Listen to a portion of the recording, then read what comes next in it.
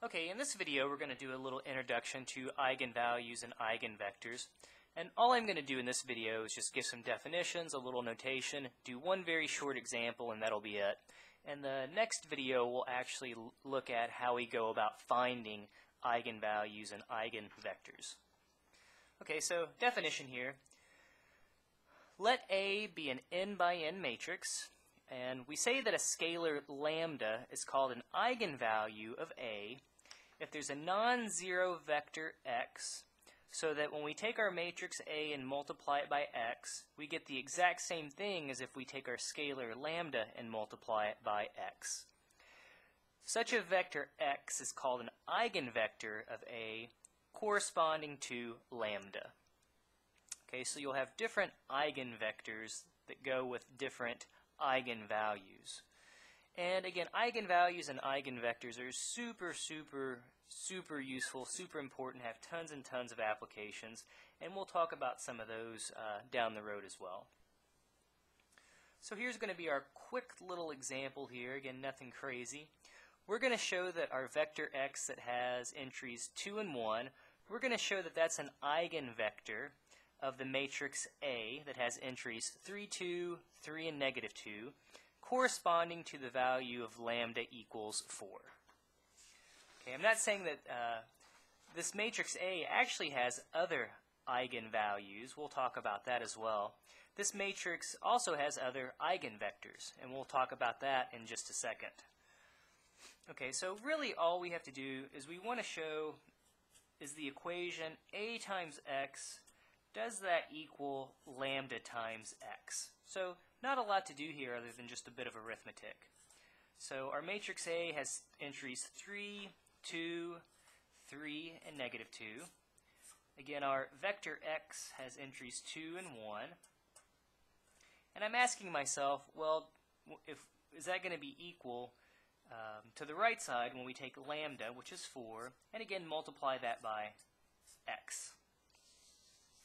Well, all we have to do is just a bit of arithmetic. So on the left side, we'll do our matrix multiplication. 3 multiplied by 2 plus 2 multiplied by 1. That'll be our first row. And then our second row, we'll have 3 multiplied by 2 plus, uh, then we'll take negative 2 multiplied by 1.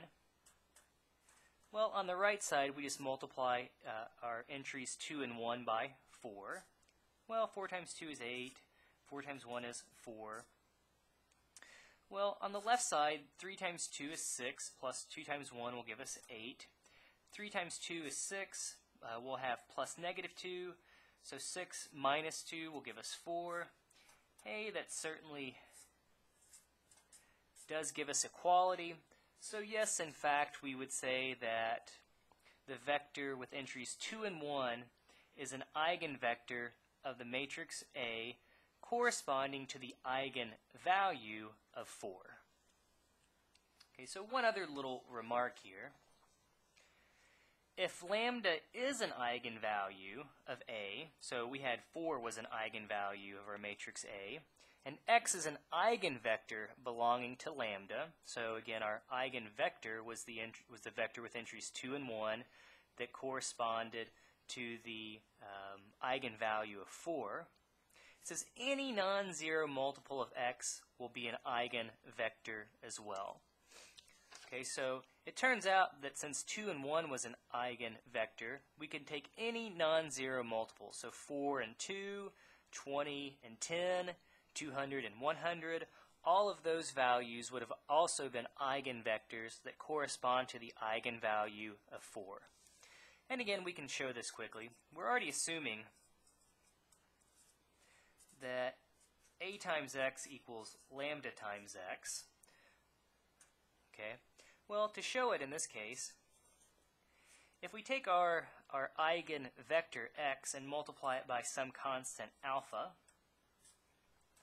well, we can always simply rewrite this. Since alpha is a scalar, we can pull that out front and have alpha times a times x.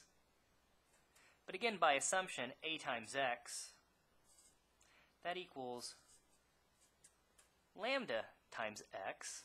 And again, since alpha is just a scalar, we can put that back inside And we'll have that lambda equals alpha times x. And now, again, we've got our desired result. So, all right, again, nothing, nothing too heavy in this example, in this video. In the next one, again, we'll start actually looking at finding uh, eigenvalues and eigenvectors in general, because that's probably more to the point and something that you'll certainly see, certainly be asked to do in a linear algebra class.